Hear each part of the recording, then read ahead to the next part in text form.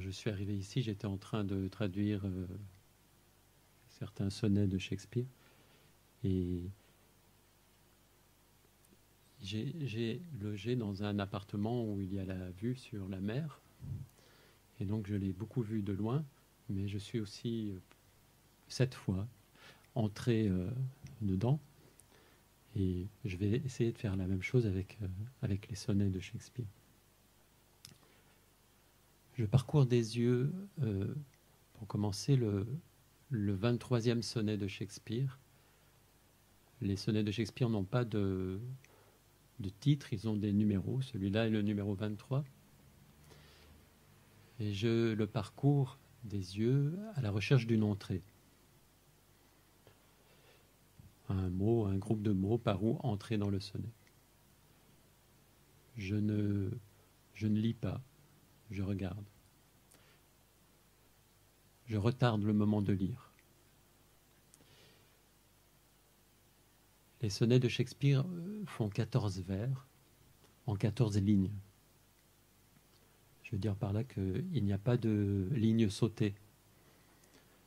On différencie les strophes entre elles, quatre strophes de 4, 4, 4 et 2 vers, et non pas 4, 4, 3, 3 comme les sonnets français et italiens de la même époque. On différencie les strophes par la ponctuation. Les sonnets de Shakespeare sont des poèmes ponctués. On place au bout du quatrième vers du huitième et, du, et du douzième une ponctuation forte. Un point, deux points ou un point virgule. Et puis au bout du quatorzième vers, un point. Celui que je regarde a un point virgule au bout du quatrième vers, deux points au bout du huitième, un point au bout du douzième vers, et puis bien sûr un point final au bout du quatorzième vers. Dans certaines éditions modernes, le point du douzième vers est remplacé par deux points. Dans ces éditions, le sonnet ne fait qu'une seule phrase, ou une seule phrase fait le sonnet. Dans celle de 1609 que je regarde, il y a deux phrases, une phrase de douze vers et puis une phrase plus courte, conclusive, de deux vers. Je pourrais entrer dans ce sonnet par euh, le premier mot en haut à gauche, as, comme, mais je pourrais aussi entrer par le dernier mot en bas à droite, qui est wit, qui est l'esprit, quand on dit avoir de l'esprit, et qui là, sur le quatorzième vers en bas, au bout du quatorzième vers, rime avec le mot qui est placé au bout du treizième vers, qui est read, qui est le participe passé du verbe to write, le verbe écrire, et qui est donc l'ancêtre de written. En fait, Shakespeare emploie les deux. Il emploie aussi written. Et d'ailleurs, il l'emploie trois sonnets plus loin, au sonnet 26, dans un sonnet qui est, présenté comme un message écrit, written, que je t'adresse à toi, thee, puisque c'est de cette façon que Shakespeare tutoie, il dit thee pour toi et thou pour tu. Il dit aussi you, comme en anglais moderne, mais pour lui c'est strictement un vouvoiement. C'est d'ailleurs dans un sonnet au you qu'il dit pour la première fois au jeune homme, enfin que celui qui dit je dans les Shakespeare dit pour la première fois au jeune homme à qui il s'adresse, puisque les sonnets de Shakespeare, les 154 sonnets de Shakespeare sont pour les 126 premiers adressés à un jeune homme et pour la trentaine de la fin adressés à une dame. Et dans le sonnet 13, pour la première fois, avec ce you, il dit Dear my love à ce jeune homme. Et c'est aussi ce you que deux sonnets plus loin, au sonnet 15, il met dans youth, la jeunesse, et qu'il met aussi dans le dernier mot de ce sonnet 15, qui veut dire neuf ou nouveau, new.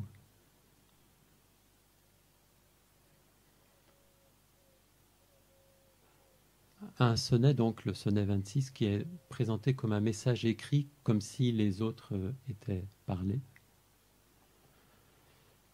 À, à toi, Lord of my love, non pas pour montrer que j'ai de l'esprit, wit, il emploie également deux fois dans le sonnet 26 le mot wit, mais en témoignage de mon devoir, duty, un devoir, si grand qu'il paraîtrait nu,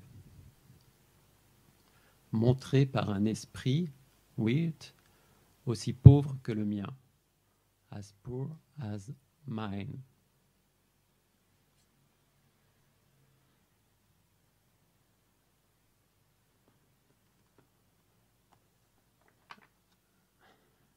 J'espère néanmoins qu'au fond de toi, une ingéniosité, pardon, c'est a good concept en anglais, une idée heureuse, un bon concept. Venant de toi, of thine, qui rime avec le as mine, deux vers plus haut, lui fera une place. En attendant que l'une ou l'autre étoile qui me guide, brillant en ma direction, mon amour dépenaillé et que je me montre digne que tu me regardes. Alors, j'oserais me vanter de t'aimer, toi, love thee. D'ici là, d'ici là, je ne me montre pas où tu pourrais me découvrir. Prove me. Ce me, moi, rime avec thee comme mien a rimé avec tien. C'est même prove me qui rime avec love thee. Et puis je, je, pense à ce mot duty et je me demande si je ne devrais pas le traduire par dette plutôt que devoir. Mais je laisse la question en suspens pour le moment. Bon voilà, j'ai voulu entrer dans le sonnet 23. Je l'ai fait par le dernier mot et je me suis retrouvé dans le sonnet 26. Alors je vais quand même essayer d'entrer dans le sonnet 23. Je pourrais entrer dans le sonnet 23 par le premier mot du neuvième vers, qui est un O. O. Un O. Et qui est aussi le premier mot du treizième vers. O. Un vocatif, comme ça. O.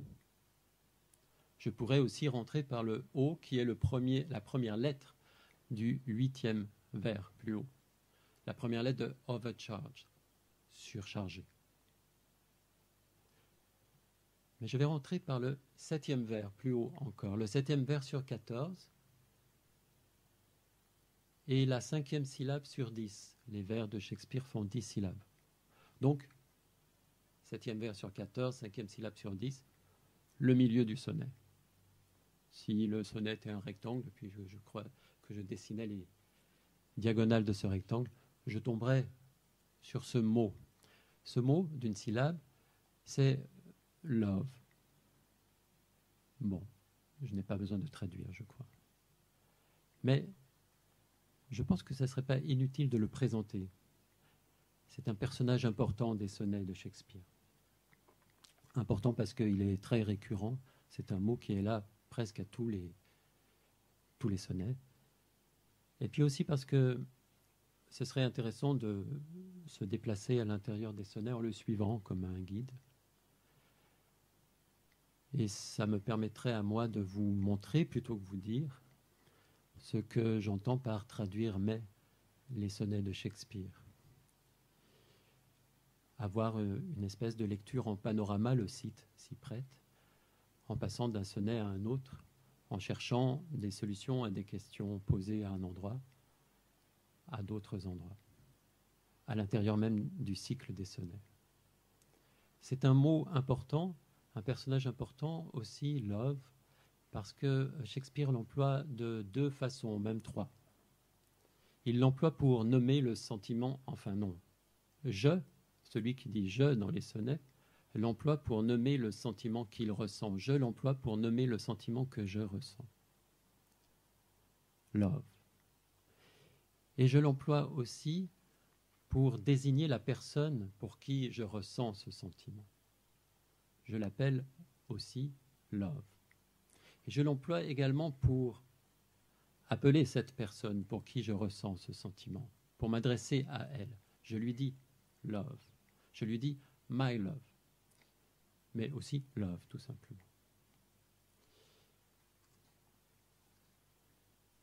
Et là, au sonnet 23, love est donc en plein centre, mais il est aussi au sixième vers, juste au-dessus, et puis il est aussi au huitième vers, juste en dessous, et puis il est aussi au quatorzième vers, dont j'ai déjà parlé, celui qui se termine par with, et il est aussi au treizième vers, celui qui se termine par read, silent love, silencieux ou muet. Je vais traduire silencieux parce que juste au-dessus, il y a le mot dumb, lui, que lui, je traduirais par muet. Et à côté, pas loin, il y a encore une occurrence du mot love. Ça fait six. Six occurrences du mot love dans un poème de 14 vers, ça m'a semblé pas mal. Mais ce n'est pas le sonnet où il y en a le plus. Il y en a un petit peu plus au sonnet 40. Au sonnet 40, il y en a deux au premier vers, il n'y en a pas au deuxième vers.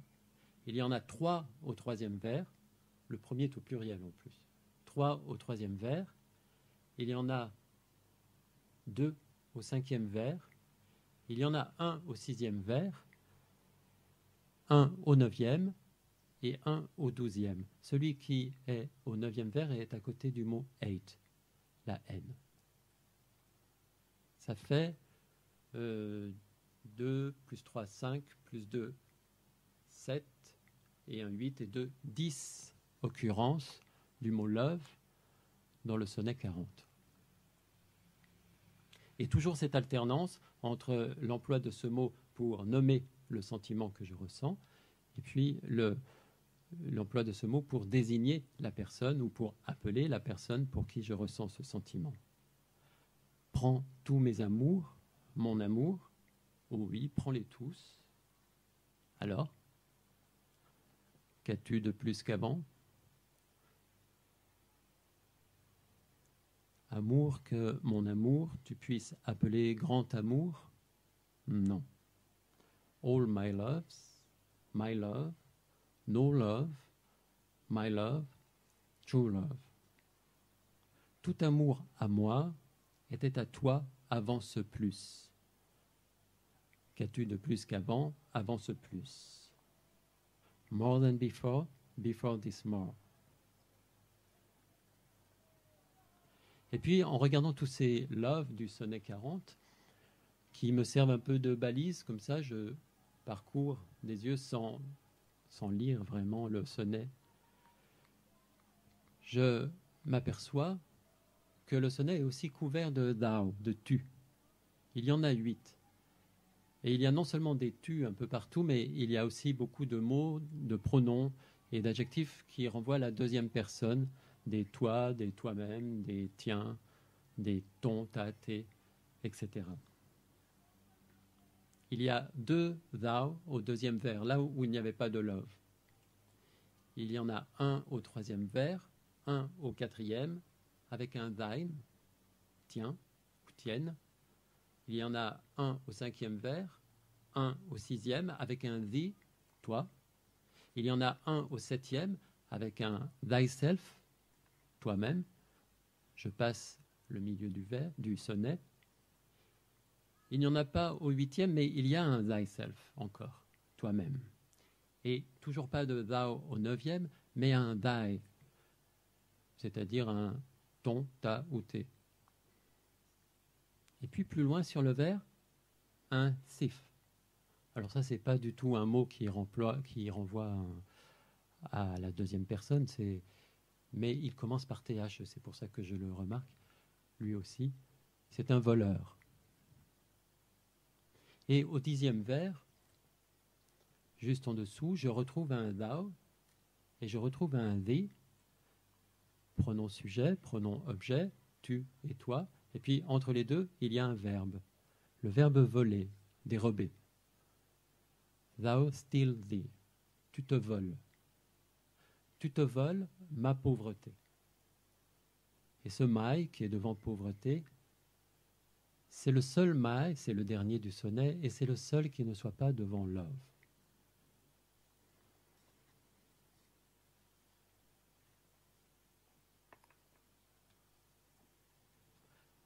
Tout amour à moi était à toi avant ce plus, before this more. Si pour mon amour alors tu reçois mon amour, comment te reprocher mon amour d'en user? Mais à qui la faute si tu te trompes toi, par goût obstiné de ce que tu te refuses à toi?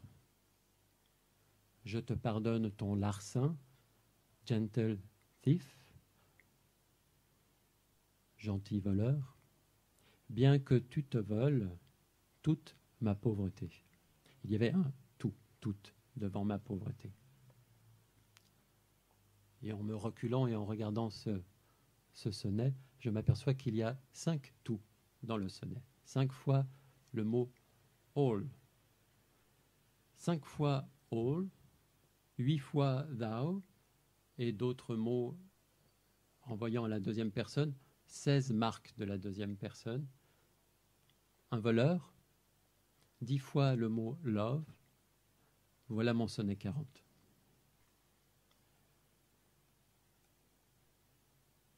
Et en regardant le sonnet 23, je ne vois aucune marque de la deuxième personne. Aucun mot grammatical renvoyant la deuxième personne et aucune marque de la deuxième personne. Sauf peut-être les deux O dont je parlais tout à l'heure, au neuvième et au treizième vers. Parce qu'ils ils introduisent deux verbes qui sont des impératifs de la deuxième personne du singulier. O let, au neuvième vers, et o learn, o learn au treizième vers. O laisse, o apprend. Bon, je perds en français ce qui évidemment saute aux oreilles en anglais, qui est la consonance entre ces deux verbes, qui commencent par la même lettre. Et puis, en entendant ces all, je me demande s'il n'y a pas là une sorte d'écho retourné à mes love, à mes six love du sonnet. Et puis évidemment, je repense à mes cinq all du sonnet 40, qui s'orthographient autrement. Et puis je pense aussi assez low, L-O, low, point d'exclamation, que Shakespeare emploie plusieurs fois dans les sonnets pour, me dire ou pour dire que j'emploie pour dire à celui à qui je parle dans les sonnets de regarder low, L-O, qui est une forme contractée, disons, de look.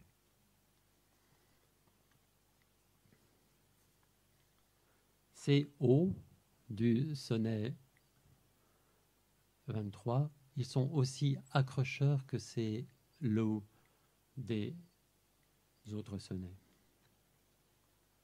Sauf que au sonnet, au vers 9, pardon,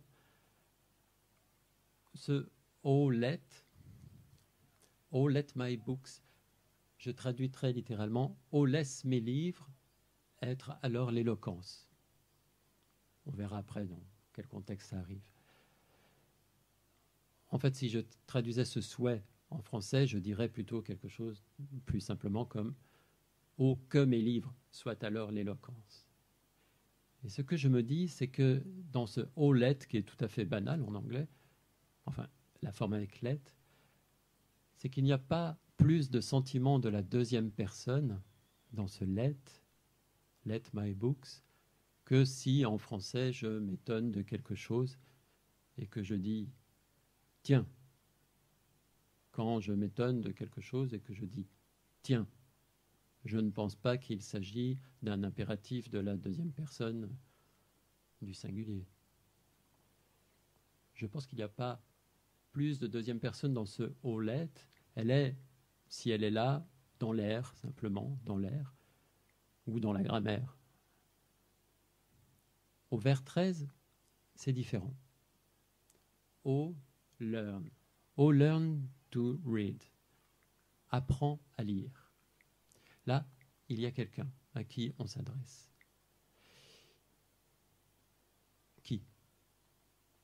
Je me pose la question, étant donné que je n'ai vu aucun tu, aucun you dans le sonnet, et je me demande qui fait irruption, quelle est cette deuxième personne qui fait irruption là, à l'avant-dernier vers, et en plus, euh, de façon un peu euh, en négatif, disons, à travers cet impératif. Et pour le savoir, je pense que je n'ai pas d'autre moyen que de remonter l'échafaudage devant ce sonnet de Shakespeare. Et si j'emploie cette image, que je me fais souvent en, commençant à traduire un, sonnet, c'est parce que remonter l'échafaudage, c'est faire euh, sortir des structures, bien sûr, du sonnet, des renvois de mots, une circulation du sens et du son, un dessin du sens, je dirais. Et, et puis aussi, je pense à, à une phrase du philosophe Ludwig Wittgenstein qui dit On n'écrit jamais qu'à la hauteur où on est. Alors je vais tenter de me hisser jusqu'au premier vers de ce sonnet de Shakespeare en montant sur cet échafaudage. Et je vais donc y entrer, comme je me proposais de le faire tout à l'heure, par le premier mot en haut à gauche. As. Comme un acteur imparfait sur la scène. Que la peur sa peur. Il y a un possessif, is fear. Que sa peur, met hors de son texte ou de son rôle, is part. Deux possessifs de la troisième personne, ici sur ce deuxième vers. Ou une chose furieuse, fierce thing, fierce fait penser à fear juste au-dessus, débordant de rage, que le, dont le trop-plein de force fatigue le cœur. C'est une traduction à peu près la plus proche possible des mots de Shakespeare. Fatigue son cœur. His heart. Il y a un troisième possessif qui est un possessif masculin. On pourrait s'étonner là, puisqu'on parle d'une chose ou d'une créature. Je pourrais traduire thing par créature. Et donc on devrait avoir un, possessif neutre. It's mais à l'époque de Shakespeare, en fait, ce possessif n'était pas en usage et on utilisait le possessif masculin pour les choses. Donc il n'y a pas de personnification, même si en apparence, il y a l'air d'en avoir une. C'est une chose assez banale. Mais en même temps, c'est quand même le troisième is de cette première séquence du, du sonnet. Elle est donc, elle, à la troisième personne. Is art, rime avec deux vers au-dessus. Les rimes des sonnets sont croisées, hein, donc euh, elles riment la première avec la deuxième, la troisième avec la quatrième, etc. Donc la quatrième, là, rime avec is art, rime avec la deuxième, is part. Le cœur avec le texte, avec le rôle. J'apprends mon texte par cœur. Point virgule. Et ouais, point virgule parce qu'on est à la fin d'une séquence. Seulement ce point-virgule, il tombe au plein milieu d'une phrase. Il y a une pause.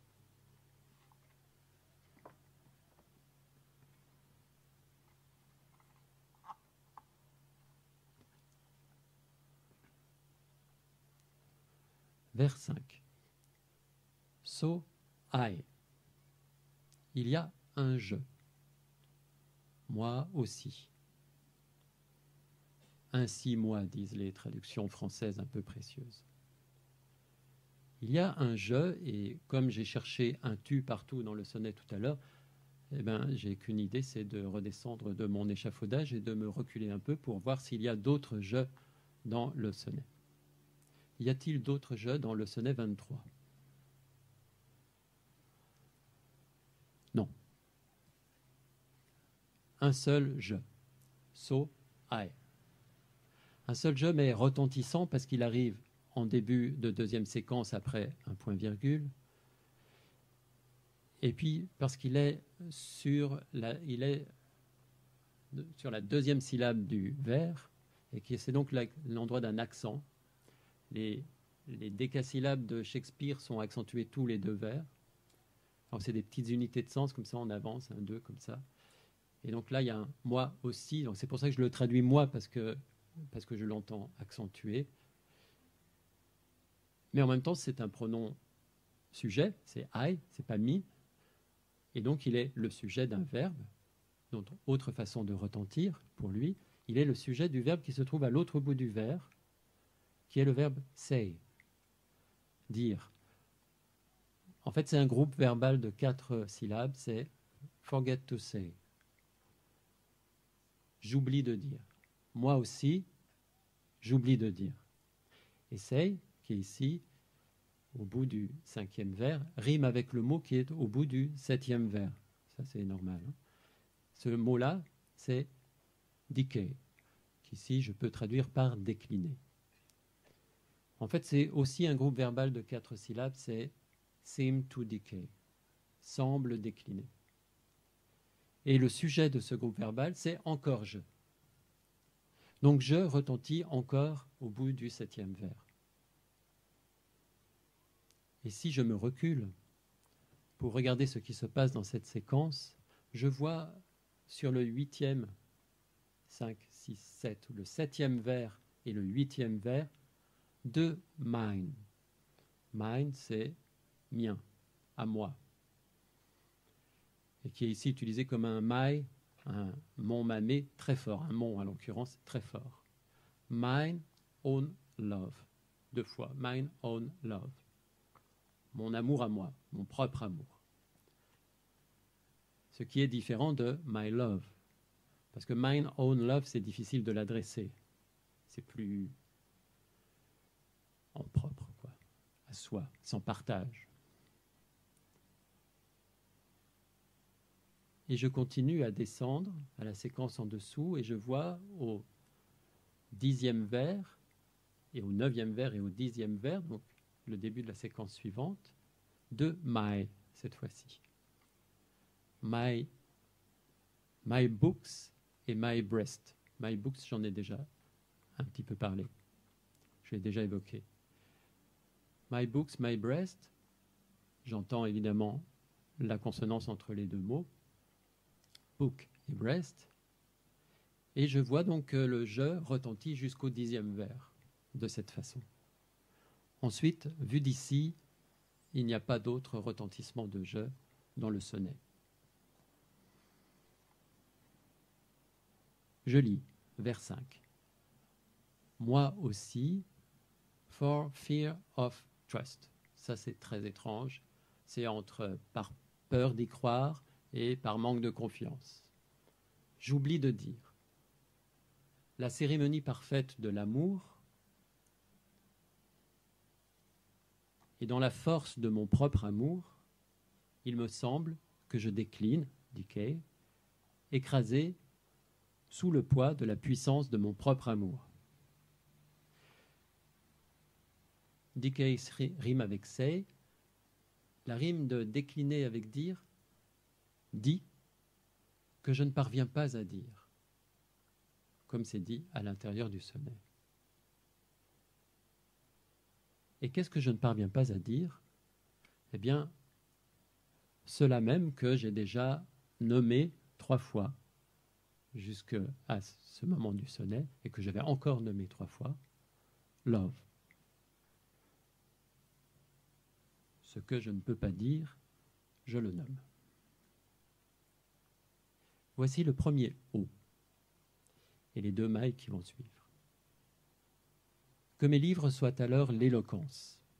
Alors il y a eu des, corrections de ce, ce, vers. On a corrigé books en looks dans certaines éditions modernes, en se disant que c'était plus logique de dire que mes regards soient alors éloquents. Je ne parviens pas à dire donc que mes regards soient éloquents. Je préfère garder books pour la consonance dont je vous ai parlé avec breast et aussi en pensant que ces livres-là ne sont pas les livres de potentiellement celui qui parle et qui serait Shakespeare, parce qu'à l'époque, je ne pense pas qu'il en, ait, il en avait tellement publié, peut-être des petits fascicules qu'on distribuait lorsque ces pièces étaient montées, mais pas de livres à proprement parler, mais les livres de l'acteur qui est au premier vers, ce qu'on appelait les prompt books, les livres du souffleur sur lesquels il apprenait son texte. Alors, Peut-être même on pourrait, non pas traduire, mais, mais pourquoi pas traduire, mais en tout cas entendre ce books comme le mot réplique que mes répliques soient alors l'éloquence, que mes répliques parlent pour moi, donc revenir au texte, ce qui est un conseil très sage même pour le traducteur.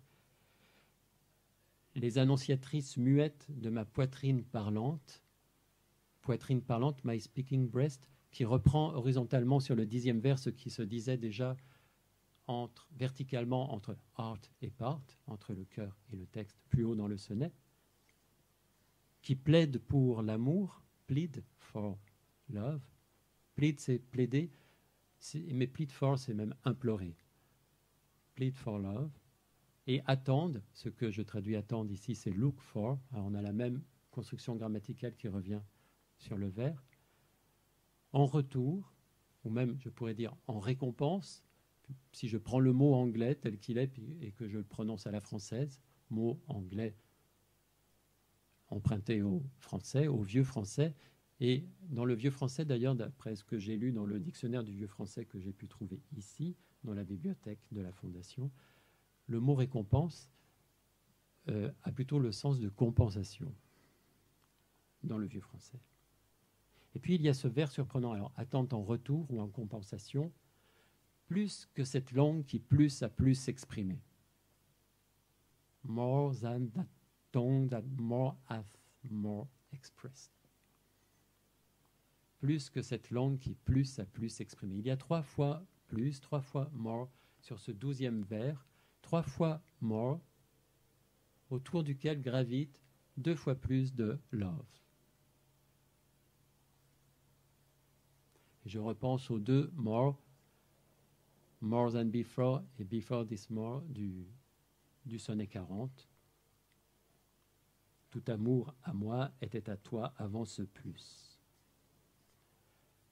Je passe aux deux derniers vers, à la deuxième phrase. Oh, apprends à lire ce que l'amour silencieux a écrit, entendre avec les yeux, hear with eyes, c'est orthographié dans l'édition de 1609 E-I-E, non pas E-Y-E. E. Et comme si on, essayait de, nous dire que l'homophonie entre I, l'œil, et I, je, n'est jamais, est toujours à l'esprit de Shakespeare. Et moi qui tout à l'heure me suis reculé pour voir si dans ce sonnet il y avait un, autre je, un autre I, j'aurais peut-être pu le voir ici. Mais à la distance où j'étais, il n'était pas visible. Entendre avec les yeux appartient au bel esprit de l'amour. Love's fine wit. Le mot par lequel je suis entré tout droit au sonnet 26 tout à l'heure. Mais j'ai envie de relire ces deux vers en omettant l'article devant amour en français. L'amour. Comme il n'est pas présent en anglais. Vous me direz en anglais c'est beaucoup plus courant, il n'y a parfois pas d'article devant les noms et c'est même la règle quand on a une construction avec un cas possessif comme sur le vers 14, Love's Fine Wit. Mais le déterminant mine own love plus haut est tellement fort j'ai envie d'entendre ce contraste aussi en français. Là-haut, un déterminant très fort et ici, plus de déterminant. O apprend à lire ce qu'amour silencieux a écrit. Entendre avec les yeux appartient au bel esprit d'amour. Est-ce que vous entendez? O apprend à lire ce qu'amour silencieux a écrit. Enlever l'article, ça fait monter l'emploi, le sens possible de amour comme désignant une personne. C'est même pas tant personnifier amour en mettant un A majuscule ou un L majuscule à love, c'est pas ça. C'est simplement faire entendre que dans ce mot, il y a, comme je le disais tout à l'heure, aussi la possibilité de nommer ou d'appeler une personne. Et donc là, c'est amour, c'est love, c'est love qui écrit. Oh, apprends à lire ce qu'amour silencieux a écrit. La nécessité pour le sujet amoureux, dit Roland Barthes dans ses fragments d'un discours amoureux n'est pas tant d'être aimé en retour ou en compensation, dirait Shakespeare, ni de le savoir, mais c'est de se l'entendre dire. Oh, apprends à lire ce qu'amour silencieux a écrit, entendre avec les yeux appartient au bel esprit d'amour. Bon, le problème c'est que si c'est amour qui écrit, alors à qui s'adresse l'impératif? À un autre tu? À une troisième, deuxième personne?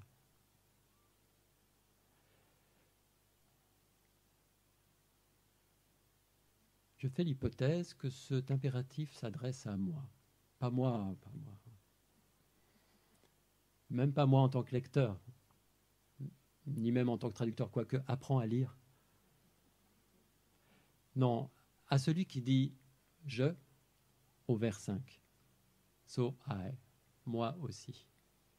Qui retentit encore dans cet impératif ce que je n'avais pas vu tout à l'heure en regardant le sonnet de loin. Et ce conseil que celui qui dit je, qui se compare, s'identifie à un acteur imparfait, qui n'est pas word perfect, c'est-à-dire qui ne connaît pas son texte.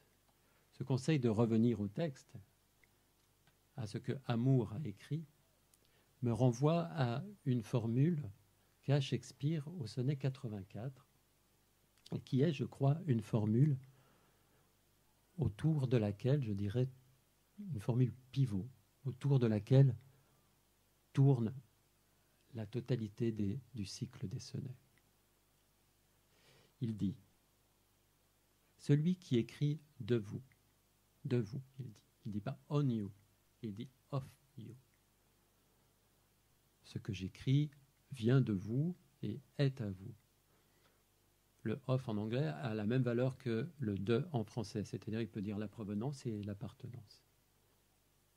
C'est le contraire de ce qu'il appelle dans le sonnet juste avant, au sonnet 83, your record, que dans ce sonnet-là on peut traduire comme votre réputation. Là, écrire de vous, c'est tout le contraire de ça. C'est pas votre réputation. Et d'ailleurs, ce de c'est peut-être là la solution. Enfin, c'est peut-être ce mot qui m'autorise, qui m'autorisera à traduire duty de tout à l'heure par dette et non pas par devoir. vous voyez, c'est aussi l'intérêt d'une lecture en panorama. C'est pas seulement de voir la mer, c'est aussi de comprendre que ce que je vois tantôt me demande une explication, et tantôt me la donne. Celui qui écrit de vous, s'il peut dire que vous êtes vous, et ça c'est la formule que je voulais vous dire, you are you, s'il peut dire que vous êtes vous, qu'il copie ce qui est écrit en vous, in you, et pareil équivalent rendra, son, son esprit weird, le revoilà, son esprit célèbre, son style sera admiré partout. You are you. C'est un sonnet au you, vous l'avez remarqué, et pas au thou. Ça ne marcherait pas la formule, elle n'aurait pas les airs de tautologie qu'elle a avec le thou. Ça serait thou art thee. On a eu une formule comme ça tout à l'heure, souvenez-vous, c'était avec le verbe steal. Thou steal thee. Tu te voles. Tu te voles ma pauvreté. Il y avait un, une première personne qui arrivait juste après. Là, c'est différent. You are you. On pourrait le, pronom, ça marche aussi en français, vous êtes vous, le pronom objet a la même forme que le pronom sujet, et on, on pourrait même penser que c'est le même vous qui tourne autour du verbe être. You are, you are, you are, you. Je exclus. Je n'entre pas dans cette proposition. Je n'entre pas dans cette proposition. Je dois me contenter de copier, sans dire plus et sans pouvoir dire mieux. Et c'est d'ailleurs par une question de ce genre que commence le sonnet 84. Qui est-ce qui dit le plus, qui peut dire plus que ce riche éloge que vous seul êtes vous Et ces deux plus du début du sonnet 84, évidemment, me renvoient, me rappellent mes deux plus du sonnet 40, More than before, before this more, et aussi mes trois plus du sonnet 23, plus que cette langue qui plus a plus exprimé, mes trois more. Mes trois more du douzième vers autour duquel gravite six fois le mot love. Et qu'est-ce que je peux faire de ça? Je regarde.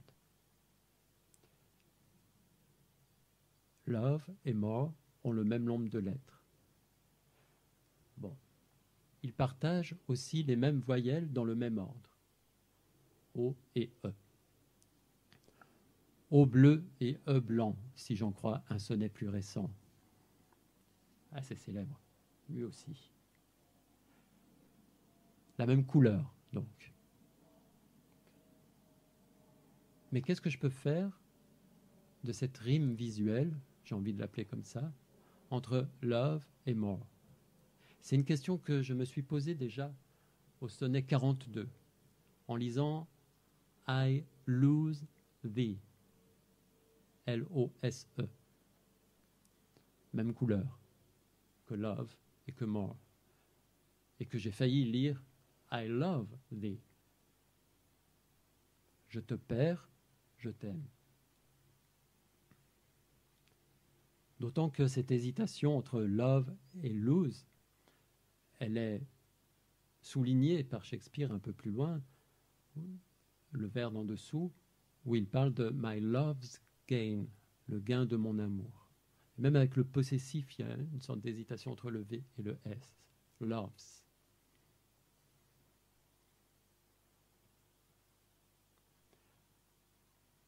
J'ai pensé au début de ce travail que je traduisais en sourd.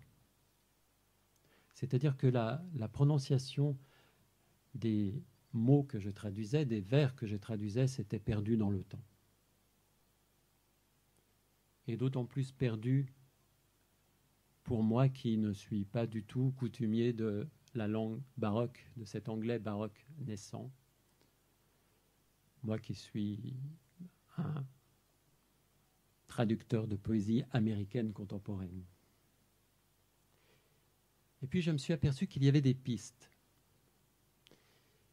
Il y a les retours de son à l'intérieur des sonnets, comme j'en ai cité déjà, All Let, All Learn, My Book, My Breath. Et puis, il y a la métrique, la façon dont certains mots de trois syllabes n'en occupe que deux dans le vers, le exprimer de plus que cette langue qui plus a plus exprimé, il faut qu'il soit comprimé dans ce vers pour être, pour être dit comme une sorte d'exprime, juste là à la fin du, du vers. Et puis, et puis il y a les rimes, justement. Le système des rimes. Parce que c'est vraiment un système.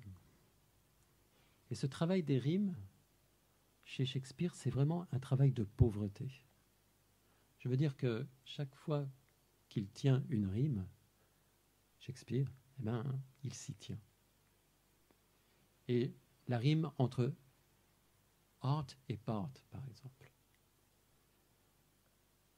Le mot part, il est 13 fois à la rime dans les sonnets, dans la totalité des 154 sonnets. Sur 13 fois, il rime 10 fois avec art.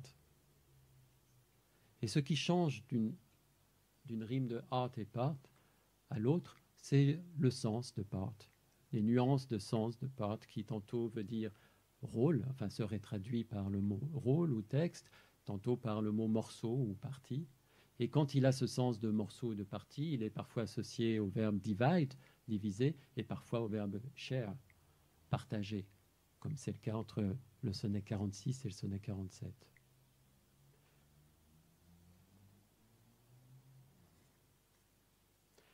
Bon, en même temps, euh, ce travail de pauvreté, il a ses limites, hein, parce que la rime entre say et decay, dont j'ai dit ce qu'elle me racontait, je ne parviens pas à dire. Say est cinq fois à la rime dans la totalité des sonnets, decay onze fois, et c'est la seule fois qu'ils se rencontrent. Et en plus, quand on va voir ce avec quoi say rime par ailleurs et ce avec quoi decay rime par ailleurs, ce ne sont que des mots différents. Bon, mais quand même, tout ça me raconte des histoires. Ces rimes me disent des choses. Il faut que vous imaginiez que, que vous imaginiez que les sonnets sont, sont des scènes, comme ici, et que quelqu'un parle sur cette scène, comme moi, et dit je, comme je suis en train de le faire, et que vous assistiez à ces, scènes, comme c'est le cas ce soir, et que vous soyez, comme vous, madame, assis tout en haut, tout au bout, et que de là-bas, vous ne entendiez, ce qui n'est pas le cas parce que je suis aidé, que le bout des vers, que l'endroit de la rime. Imaginez. Eh bien, je crois que si c'était le cas, vous en sauriez déjà beaucoup sur ce qui se dit sur la scène à l'intérieur des sonnets. Parce qu'il y a, de toute évidence, dans la récurrence des rimes, un récit qui se met en place. On pourrait presque ne lire que les rimes, et on en saurait déjà beaucoup sur ce qui est raconté dans les sonnets. Un écho au récit qui est à l'intérieur des sonnets, un écho aussi au sens acoustique, bien sûr. Par exemple, la rime de voir, si, avec toi, thee, six fois dans le cycle des sonnets. Est-ce qu'elle n'est pas un écho à l'homophonie dont j'ai parlé entre I et I, entre l'œil et je? La rime entre thee et be, le verbe être, entre toi et le verbe être, douze fois. Est-ce qu'elle n'est pas un écho au you are you dont je vous ai parlé? Et que dire de la rime entre thee, toi, et me, moi, vingt-deux fois. Et notre personnage, Love, lui, il se présente quatorze fois à la rime dans la totalité du cycle. Alors je ne sais pas si je dois faire quelque chose de ce chiffre, mais Love est autant de fois à la rime qu'il y a de vers dans un sonnet. D'accord Neuf fois sur quatorze, ce qui est conséquent, il rime avec prove, qui est s'avérer, se révéler. Et là, je me raconte aussi des histoires sur les liens entre l'amour et la vérité, qui sont très présents, surtout dans les derniers sonnets, ceux adressés à la dame. Trois fois, deux fois, il rime avec approve, approuver. Une fois avec move, déplacer. Une fois avec remove, ôter, enlever. Et une fois avec above. Ah tiens, à part dans ce dernier mot, que je prononce peut-être mal, il semble que ce personnage, dont j'ai dit le nom depuis le début de ce topo, eh bien j'en ai écorché le nom tout le long. Louvre. Il s'agit de Louvre, comme dans prove, si j'en crois le système des rimes, comme dans move, la même voyelle longue. La même voyelle longue aussi, d'ailleurs, que dans lose. I lose thee. I love thee. Mais alors aussi euh, la même voyelle longue que dans you, que Shakespeare ne met pas seulement dans you are you, mais comme je vous l'ai dit, dans youth, la jeunesse, et dans new, à la fin du 15e sonnet. You, qu'il met aussi au sonnet 109 dans l'univers. Le sonnet 109 se termine par une phrase de deux vers. Le premier commence par nothing, rien. Et le dernier se finit par all, tout. Rien, je n'attends rien de ce vaste univers, universe. Save thou, que toi, my rose, ma rose, tiens, lui aussi a la même couleur que love. Lui aussi est un personnage important des sonnets. On pourrait le suivre lui aussi d'un sonnet à un autre. Et lui aussi partage avec love la possibilité, avec le possessif my, de devenir une forme d'adresse. Adresse à un jeune homme ici, ma rose. Je n'entends rien, je n'attends rien de ce vaste univers que toi, ma rose, en lui, in it, en elle. En fait, l'anglais ne départage pas entre l'univers et la rose. Et d'ailleurs, Shakespeare s'en amuse de, cette, de ce problème des genres en anglais, puisqu'il y a un sonnet, le sonnet 99, où celui qui parle, celui qui dit je, à un moment donné s'adresse à des fleurs, différentes fleurs, qu'il qualifie de, de sweet thief. Revoici des, des voleurs, des voleuses, en l'occurrence, et qu'il accuse d'avoir volé à, à celui au-dessus des sonnets euh, tout ce qui fait leur beauté. Et à un moment donné, on en vient aux roses. Les roses, 1, 2, 3, se tenaient sur leurs épines. 1. Rouge, honte. 2. Blanc, désespoir. 3. Ni rouge ni blanc avaient volé des deux, of both, et à ce vol adjoint ton souffle thy breath, ton parfum, ton haleine. Or, pour ce vol, theft, qui est construit sur thief, le voleur, au plus fier de sa croissance, un chancre vengeur l'a mangé. Et ce manger, il faudrait que je l'écrive et, bien que je parle de la rose. Parce qu'en anglais, c'est it him. Et là, ça ne fait pas de doute, malgré qu'on soit en 1609, c'est pas comme avec le is de tout à l'heure, qui était utilisé pour un it's. Là, ça ne fait pas de doute, la rose est masculin. En tout cas, the rose est masculin. Ce qui veut dire que non contente ou non content de t'avoir volé ton souffle, elle t'a volé ton genre. In it, donc, en lui et ou en elle, thou art my all. Tu es mon tout. Je me recule une dernière fois pour regarder ce sonnet 109 que je n'ai pas encore traduit.